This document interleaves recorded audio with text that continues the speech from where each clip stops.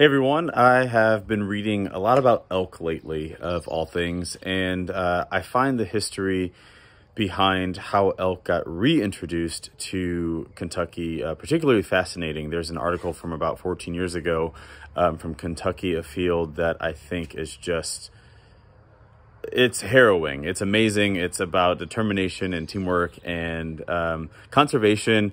People who are outside of the hunting community, whether they hunt or not, but you know, people who are not super familiar with the ways of true hunting and the ethics of hunting, uh, often do not associate uh, that type of activity with conservation. But this is a really harrowing story of that exact thing and uh, is not uncommon in true hunting circles and hunting organizations. Um, but in any case, you should check it out. Uh, it's about six pages long and it's a, it's a really, really, really cool story and also speaks to a region of Kentucky that we don't often talk about in terms of positive news, which is Eastern Kentucky. That's where uh, the bulk of our elk population really is, if, if not all of it. And now we have the, the largest elk herd uh, the east side of the Mississippi, um, all because of some very, very persistent and uh, cool people. Um, a very small group of them uh, that, of course, ended up with a larger team of people to make it all happen. But just a few people that had a cool idea and um,